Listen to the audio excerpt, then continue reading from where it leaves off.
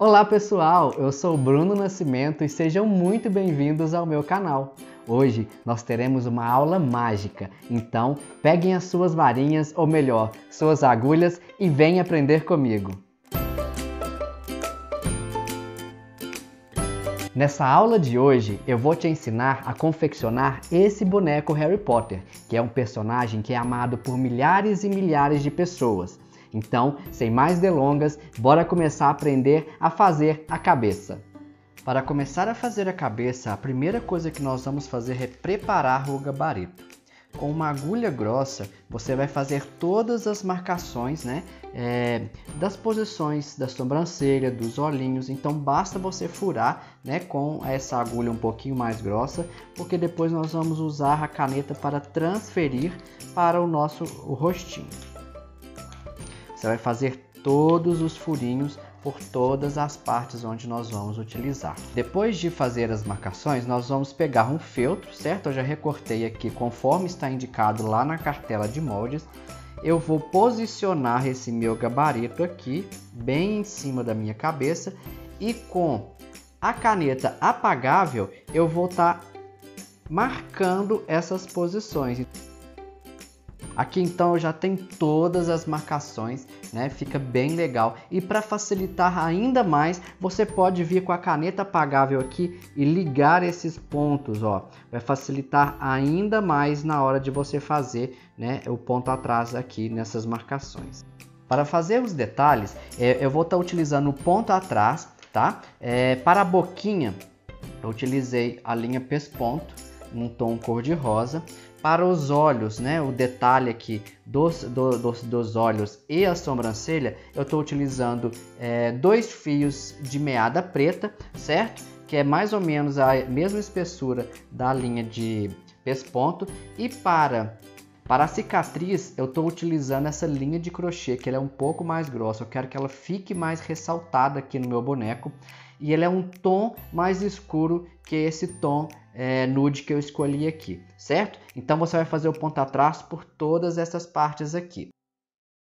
Depois de ter feito todo o bordado com o ponto atrás, nós vamos ter esse aspecto aqui certo? Então agora nós já podemos partir para o cabelo. Então o cabelo, pessoal, é, é, é feltro preto, né? Então uma dica que eu já dou para vocês aqui é para estarem utilizando a caneta Fantasminha branca, que consegue, você consegue escrever no feltro escuro, né? É, e fica muito bom. E depois ela sai com o calor também, certo? Então, primeira coisa que eu vou fazer é posicionar, né, o meu cabelo aqui em cima, né, do, da minha cabeça. Vocês podem ver que a, a, a cicatriz ela encaixa perfeitamente dentro desse desse vãozinho aqui do cabelo, porque eu quero que ela apareça, apareça e vocês vão perceber também que o cabelo ele é, ele é da mesma largura da cabeça. Então a primeira coisa que eu vou fazer aqui é tá fixando esse cabelinho aqui para depois eu costurar. Eu vou fixar com um pouquinho de cola de silicone aqui, certo? Só para não soltar na hora que eu for costurar na máquina. A parte de trás, pessoal, é só eu posicionar, né, essa parte aqui sobre a outra. Ela também é do mesmo tamanho aqui da cabeça e eu vou colar ela aqui na frente. Essa aqui, a parte de trás, não tem costura na máquina. E eu vou para a máquina agora costurar essa parte aqui, prendendo o cabelo na minha cabeça. Se você for fazer à mão, você faz com ponto palito aqui, certo? Ou então deixa bem coladinho. Costurado aqui, pessoal, não sei se vai dar para vocês verem aí, porque é preto, né? Mas eu costurei por toda a voltinha aqui, certo? E agora, é, o que, que eu vou fazer? Eu vou pegar a minha parte do fundo, vou posicionar junto aqui e eu vou fechar essa orelhinha aqui antes de eu fazer o caseado na volta. Por quê? Porque, gente, é, eu não quero que quando eu coloco um enchimento aqui nessa cabecinha, eu não quero que esse enchimento venha para a orelhinha. Então, o que, que eu vou fazer? Ó? Eu posso fazer lá na máquina, certo? Ou eu posso fazer à mão, com um ponto atrás. Eu marquei aqui para vocês verem. Ó. Eu vou fechar essa orelhinha aqui. Ó. Então, pessoal, com as minhas orelhinhas já fechadinhas aqui, certo? Eu posso já fazer o caseado por toda a volta. Com o caseado todo pronto, certo? nós vamos virar a nossa cabecinha aqui agora. E aqui, pessoal, nós vamos marcar mais ou menos dois dedos, tá? Dois dedos e vamos fazer uma marcação onde nós vamos fazer uma abertura por onde nós vamos colocar o enchimento e onde depois nós vamos estar tá colocando o pescoço, certo? Essa abertura, gente, não pode ser muito grande, então coloque aí mais ou menos menos de dois dedos aí também, ok? Centraliza, dois dedos para cá e dois dedos aqui. E por aqui nós vamos colocar o enchimento e também depois nós vamos colocar o pescoço. Eu vou estar tá utilizando aqui bastante enchimento, certo? E com a ajuda de um pincel você vai introduzindo esse, esse enchimento por aqui, certo? Capricha no enchimento, deixa bem durinho para ficar bem firme. Cabeça com a cabecinha bem cheia, gente. Eu gosto de deixar muito cheio mesmo. Aqui atrás vocês podem ver que ficou esse buraquinho aqui. Ele alarga mais quando a gente vai enchendo, mas não tem problema, porque o pescoço vai vir aqui. Nós vamos ter o acabamento também depois com o cabelinho aqui, certo? Então, agora o que, que nós vamos fazer? Nós vamos afundar os olhinhos. Vocês podem ver que lá no nosso molde a gente tem a marcação onde a gente vai fazer o afundadinho. Então aqui com uma linha de pesponto, certo? ela é mais grossa, eu vou estar tá arrematando aqui atrás, ó, e vou sair lá na frente. Vou sair no pontinho aqui, volto lá para trás, faço novamente e volto. Aí aqui agora você vai puxar, certo? Para afundar esse olhinho, ó. Ele vai ficar bem afundado, você deixa bem afundadinho aqui, porque nós vamos colocar um botãozinho aqui depois, certo? Então aqui você pode arrematar e você vai fazer a mesma coisa do outro lado. Então aqui, pessoal, eu vou estar tá utilizando para os olhos é, do, dois botõezinhos, certo? Ele é um botão com pé, que eu vou retirar esse pé aqui, certo? Ou você pode usar também uma meia pérola. E você vai colar ele bem no cantinho é, do, dessa voltinha aqui que nós fizemos com o ponta atrás. Então você pode colar o olhinho, certo? Com cola quente ou então com a cola pano, que é aquela cola que eu sempre indico para vocês, que fica uma colagem muito boa. Os óculos dele, né, que é uma parte bem importante também, é, eu vou estar tá utilizando para fazer o óculos é, arame para artesanato, certo? Ele, esse arame aqui é um arame encapado, ele tem um tecido aqui, ele é encapadinho e ele é branco, vocês vão ver. É, eu não sei se existe de outra cor, mas eu só tenho branco. Eu cortei aqui mais ou menos 35 centímetros, certo? Para poder fazer. Como que eu vou fazer esse óculos? Eu vou pegar uma superfície, né, um, alguma coisa arredondada, né, para poder fazer esse óculos. Então eu vou aqui, ó, segurar bem firme. Esse arame aqui, gente, ele é bem grosso, certo? Então eu vou segurar bem firme e vou fazer, ó, uma volta. Ó. Eu aqui tá, eu comecei aqui, certo? Então, ó, eu vou passar essa essa essa volta aqui mais ou menos até na outra metade, certo? Chegando aqui, gente, com o próprio dedo, com o próprio dedo, você vai fazer a voltinha do nariz, ó. ó aqui é a voltinha do nariz, certo? Ó, vocês podem ver que eu já tenho metade do óculos já feita, ó, mais a voltinha do nariz. Agora eu venho novamente aqui, ó, ó com a minha superfície e vou enrolar novamente, ó. Certo? Então eu tenho aqui com o alicate você pode ajeitar, né? É, alguma coisa que ficou torta. Eu gosto sempre de deixar sempre para o mesmo lado, então você coloca aqui para baixo, ó. Eu vou pintar. Eu, então já tenho um outro aqui que eu pintei ele, né? Com a, a com tinta de para tecido preta mesmo, já que esse esse, esse arame aqui ele é uma linha encapando, eu, eu pintei ele com é, a tinta preta. Eu vou posicionar certo? Esse óculos aqui e vou costurar ele aqui. Eu vou estar tá utilizando a mesma linha de pesponto para poder prender esse óculos, tá? No, mais ou menos no tom, né, da, do feltro aqui. E aqui, gente, ó, eu vou fazer, eu vou sair nesse, nesse buraquinho aqui, que a gente já tem lá fora, lá atrás. Vou passar aqui, ó, por cima, né, do meu óculos, ó.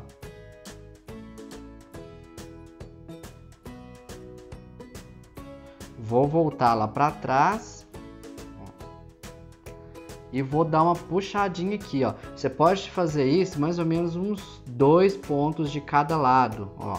Vou sair um pouquinho mais na frente e vou puxar lá para trás novamente.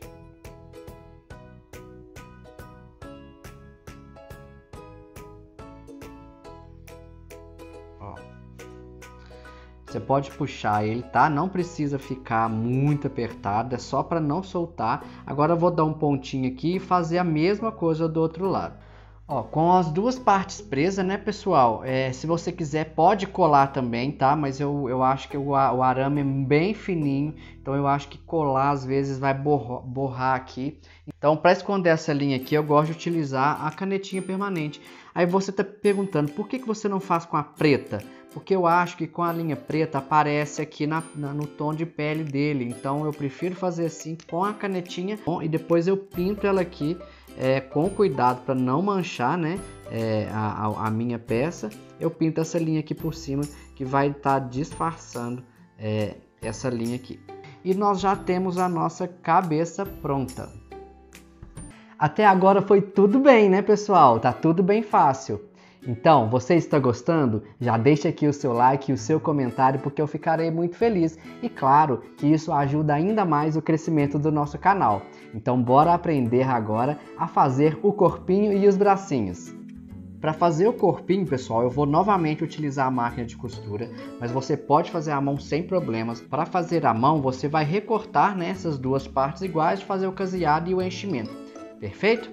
Então, ó, o que, que eu vou fazer na máquina? Eu vou colocar frente com frente, vou riscar né, o meu corpinho aqui com a caneta apagável no verso do meu feltro e vou costurar por toda a volta. Com o corpinho, gente, todo costurado, costurei em cima do risco aqui. Agora é só você recortar em volta para a gente desvirar.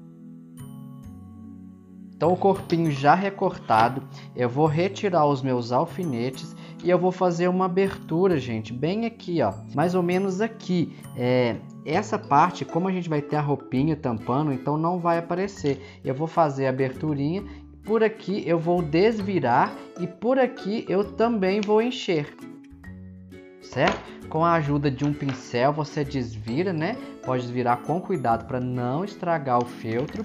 E aqui eu já tenho um corpinho já adiantado, ele tá bem cheio, gente. Eu volto a falar novamente para vocês do enchimento. É, nunca economiza no enchimento, gente, porque é ele que vai dar sustentação para o nosso boneco. Eu não utilizo qualquer tipo de palito ou arame por dentro. O que segura o boneco fica bem firme é somente o enchimento. Então aqui vocês podem ver que eu fechei a aberturinha com um pontinho, certo? um pontinho bem grosseiro mesmo, que eu não, esse aqui não vai aparecer, certo? E os bracinhos, pessoal, a mesma coisa. Os bracinhos eu já é, também risquei, né? Frente com, frente com frente do feltro, risquei no verso, costurei por toda a volta e eu deixei uma aberturinha aqui onde eu vou desvirar. Eu vou fazer isso aqui com vocês, ó. É só recortar também e desvirar com a pontinha do pincel você ajeita ó, os cantinhos, certo? Por aqui eu vou encher e aqui ó, eu já tenho um bracinho cheio e já tá fechado aqui. Eu fechei com cola mesmo, porque como eu disse para vocês, a roupinha vai vir aqui por cima e não vai aparecer essa parte. Então com isso, pessoal, nós já temos o nosso corpinho e os bracinhos prontos. Está ficando demais, né, pessoal? Eu estou amando. E você, também é fã de Harry Potter? Então me conta aqui nos comentários qual a sua casa. Vamos começar a fazer as vestes da escola, certo, pessoal? Então, como ele é da sala da Grifinória, as cores é preto, vermelho e dourado, certo? É, você, se você quiser fazer tudo em preto, também pode. Escolhi fazer com Microsoft, é, se você quiser fazer em feltro também pode, não tem problema algum, certo? O que que, por que que eu fiz? Eu acho que dá um caimento melhor, a, a mistura de texturas faz a peça ficar bem mais interessante, certo? Então aqui eu tenho é, frente do meu Microsoft com frente do Microsoft. Eu risquei o molde por toda a volta e eu vou costurar essa parte aqui, deixando uma abertura aqui em cima de mais ou menos três dedos para eu desvirar.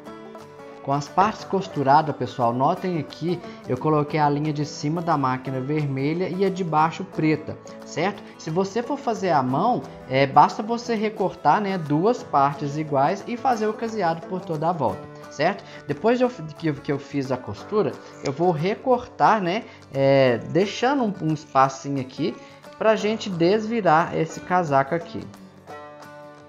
Aqui na parte de cima, pessoal, eu gosto de deixar, eu gosto de deixar um pouco maior para ficar mais fácil na hora da gente é, virar e ele assentar aqui na onde que está o buraquinho, certo? Nos cantinhos eu gosto de fazer um cortezinho assim e novamente com o pincel eu vou ajeitar os meus cantinhos. Como esse tecidinho aqui, gente, ele é bem armadinho, né? Vocês podem ver que ele fica bem grossinho. O que, que eu vou fazer agora lá na máquina? Eu vou passar um pesponto por toda a volta, prendendo, né, é, esse tecidinho aqui. Fica com um aspecto mais legal aqui para mim. Se você for fazer em feltro, não precisa fazer se você não quiser. Já feito o pesponto aqui, vocês podem ver que fica bem legal, né? Ele dá esse, esse, esse, ele aperta, né? A costura aqui, fica bem legal. Agora nós vamos deixar essa parte de lado e nós vamos fazer as mangas. Eu já adiantei a manga aqui, pessoal, risquei também no Microsoft preto, né? Que é a parte de fora aqui do, da minha veste. Risquei no, no Microsoft no avesso, né? Frente com frente, certo? E costurei por aqui, ó, deixando a abertura aqui embaixo, certo? Agora deixa eu contar um truque para vocês, como que eu faço para dar o acabamento aqui embaixo. Eu vou recortar, né, a parte aqui de cima, ó, e a parte de baixo eu deixo ela um pouquinho maior, porque eu vou usar uma colinha aqui para fazer o acabamento para dentro. Se você for fazer em feltro, você vai estar tá recortando, né, duas partes iguais e fazendo o caseado por toda a volta. Aqui, ó, vocês podem ver que dá para ver a marcação da minha canetinha branca aqui. Eu vou passar a cola de silicone aqui, ó, por cima, né, bem quase encostando aqui na minha linha e vou virar, ó. Com isso eu fico com o acabamento, que, ó, não sei se está dando para vocês verem. Eu virei ela, para poder ficar com acabamento aqui. Do outro lado a mesma coisa, eu vou só passar uma colinha de silicone e vou virar colando ela aqui para cima, certo? Aqui nos cantinhos, pessoal, você pode recortar essas, essas sobrinhas aqui para não aparecer lá na frente. E quando estiver tudo já coladinho, só você desvirar e já fica com acabamento embaixo. E a nossa manguinha já está pronta para receber o nosso bracinho, né? Que vai ficar assim, ó. O suéter, pessoal, é uma parte bem legal também, que é bem característica do personagem. Eu estou utilizando aqui essas partes aqui em feltro. E a primeira coisa que eu vou estar tá fazendo é a gravatinha. Então a gravatinha deles é no tom amarelo, né? Um amarelo com vermelho. Então eu utilizei aqui o termocolante, por quê? Porque é muito pequenininho, então eu acho que fica bem melhor assim para a gente trabalhar. Risquei no termocolante, recortei e para fazer as listinhas, né? É, do, do da, da, gravatinha, eu vou estar tá utilizando é, essa, essa fitinha de cetim bem fininha você vai virar ela e vai virar essas, essas fitinhas aqui colando ela aqui atrás. Então, pessoal, aqui ó, eu já tenho a minha parte viradinha, certo? O que, que eu vou fazer agora? Eu vou colocar ela bem em cima dessa parte branca, que seria a camisa que está por baixo do suéter, certo? Então, como aqui é, eu tenho um termocolante né, nessa gravatinha, eu vou centralizar ele, ela aqui ó, e vou estar tá utilizando ferro. Então nós vamos agora colar essa parte aqui. Para fazer os detalhes, gente, eu vou utilizar aqui um sutache dourado, certo? Você vai colar ela aqui, ó, uma, uma, uma tirinha dessa de sutache dourado e agora eu venho com a fitinha de cetim, a mesma que eu utilizei na gravata, e vou novamente colar. E a parte de baixo nós também vamos fazer isso. E eu vou lá para a máquina agora para nós fazer as costurinhas, certo? Eu vou prender esse, essa parte aqui de cima com cinza mesmo, tá? E aqui eu vou depois costurar as laterais aqui fechando. Então nós temos aqui já o nosso suéter pronto e agora nós vamos fazer a calça, certo? A calça nós já temos aqui as partes recortadas. Vocês vão ver lá no molde que a gente tem que recortar espelhado, né? Então a primeira coisa que eu vou fazer é costurar essa parte aqui, certo? E eu vou lá para a máquina mostrar para vocês. Bom pessoal, a primeira coisa que eu vou fazer aqui agora é costurar essas duas partes aqui, internas. Costurada as duas partes, eu vou agora abrir a minha calça, certo? Eu vou juntar as minhas duas partes, certo? Ó, frente com frente. E agora eu vou costurar as laterais e depois o meio. Feitas as costurinhas aqui na nossa calça, agora nós vamos desvirar com bastante cuidado. E agora nós vamos, por último, para o sapatinho.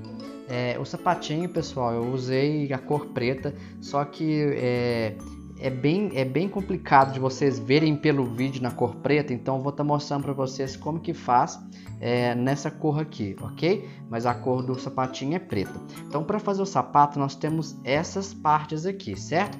Essa parte aqui, que é duas vezes de papel paraná, é, eu estou utilizando como a palmilha, do, a palmilha né, e, e a sustentação do meu pezinho, para ela ficar bem durinha. Então estou utilizando duas vezes o papel Paraná, que eu vou colar aqui, certo? Essa parte aqui de baixo é a minha sola. Então, ó, eu vou colar essa palmilha na sola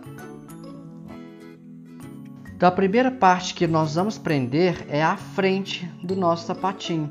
Então aqui ó, você pode fazer a mão sem problemas. Eu vou estar tá mostrando para vocês lá na máquina, mas o jeito é a mesma coisa. Para fazer a mão basta você vir fazendo o caseado aqui, tá? É como eu vou fazer lá na máquina. Então vou lá mostrar para vocês como que faz. Então pessoal, aqui eu tenho frente com frente do meu feltro, certo? Primeira coisa que eu vou fazer é unir essas duas partes.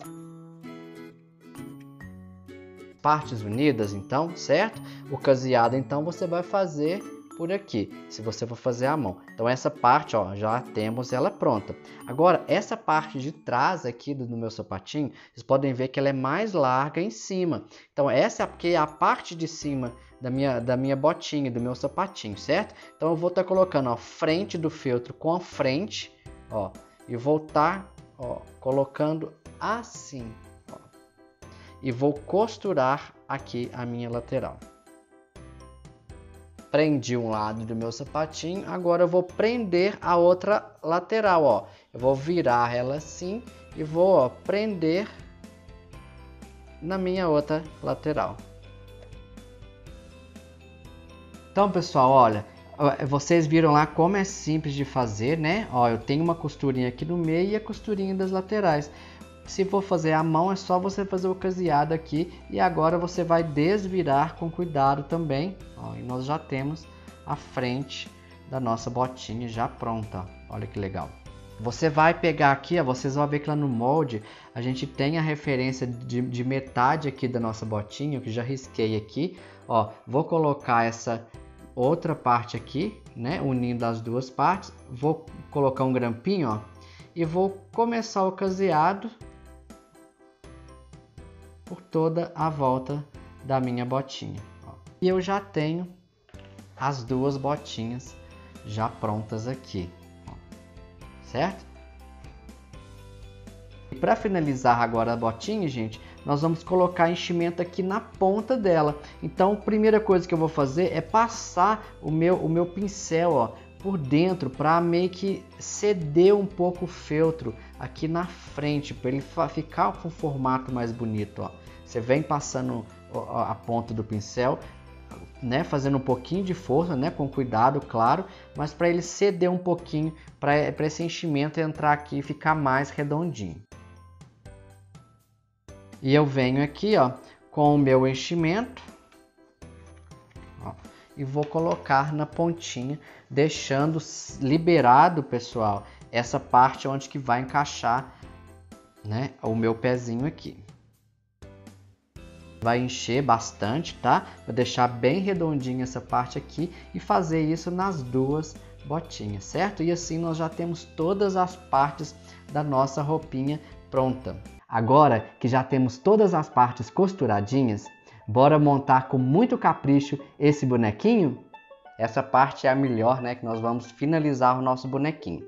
Então, primeiro, pessoal, nós vamos começar aqui, né? Pelo corpinho, certo? A primeira parte que nós vamos fazer é vestir a calça.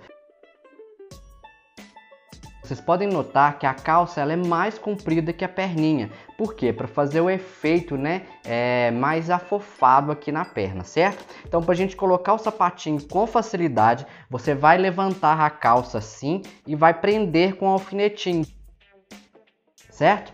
Então aqui nós temos o sapatinho. Eu vou colocar cola quente bem aqui, né? Na, na minha palmilha, lá no fundinho, certo? E vou encaixar a perninha, uma de cada vez.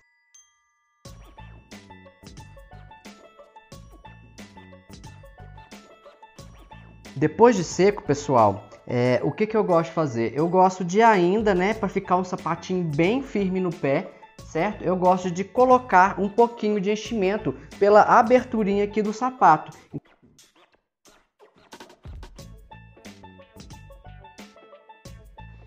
Depois de cheio, pessoal, você vai pode pôr um pinguinho de cola aqui, ó, pra gente, né, colar esse sapatinho aqui na frente e ele não soltar de jeito nenhum. Agora, pessoal, basta você abaixar as calças aqui, né, ó, e ajeitá-las. Aqui em cima eu vou colocar um pinguinho de cola também, ó, à frente e atrás. Agora nós vamos colocar o nosso suéter, certo? Eu vou sobrepor esse, essa calça aqui com o suéter, tá? Aqui você vai puxar o suéter, tá? Até ele ficar mais ou menos aqui com o dedo, né, do início do nosso pescocinho, certo? Aqui você pode colar ele também. Vou colocar um pinguinho de cola aqui por baixo. Ó, vou estar tá fixando esse suéter aqui. Agora, pessoal, nós vamos colocar a cabeça. Lembra que a gente já tinha feito, né, a abertura por onde nós desviramos. Então você vai é, com o dedo, com o palito, fazer um movimento assim para poder fazer a abertura dessa cabeça e vai, ó, introduzir o pescocinho aqui, certo? E pode colar com a cola quente mesmo. Você pode costurar se você quiser, tá bom? Só que como aqui a gente tem o acabamento do cabelo, eu não vou precisar, né, é, tá costurando aqui, certo? Eu vou apenas colar com a cola quente. Depois de colado atrás, eu gosto também de fazer assim, ó, é, e co colocar um pouquinho de cola aqui na frente, ó. Pra ficar bem presa essa cabeça aqui. Só cuidado na frente, pessoal, para a cola não aparecer, tá bom? Aqui agora, pessoal, eu já posso tá fazendo acabamento com o cabelinho de trás. Então eu venho aqui só com a cola e venho, né, colando ele todo aqui, escondendo toda essa parte aqui de trás.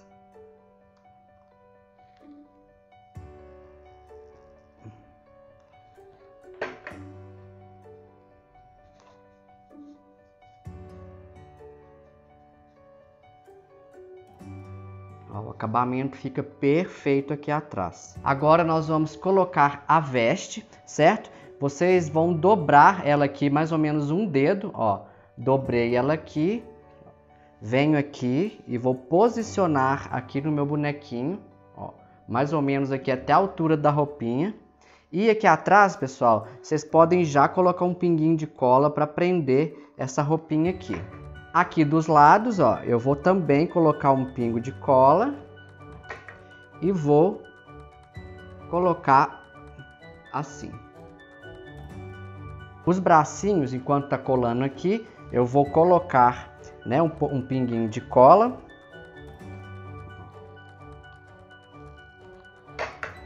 E vou colocar dentro da minha manga. Vocês podem ver que a manga ela tem uma curvatura, onde né, é a curvatura do bracinho.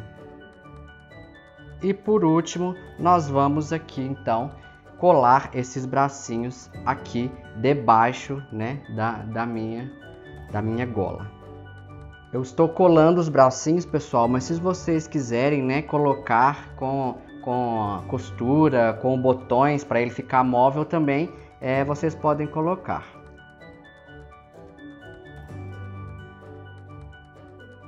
E com isso nós já finalizamos o nosso bonequinho Harry Potter.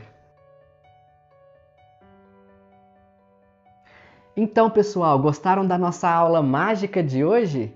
Eu espero que tenham gostado muito. Então já deixa o seu comentário aqui, porque eu quero saber para a gente continuar fazendo mais e mais vídeos assim para vocês. Você pode aprender a confeccionar todos esses personagens. Então não perde tempo. Corre lá no nosso site e adquira já a nossa linda apostila. Tenho certeza que você vai gostar bastante. Vem aprender comigo a magia do artesanato em feltro.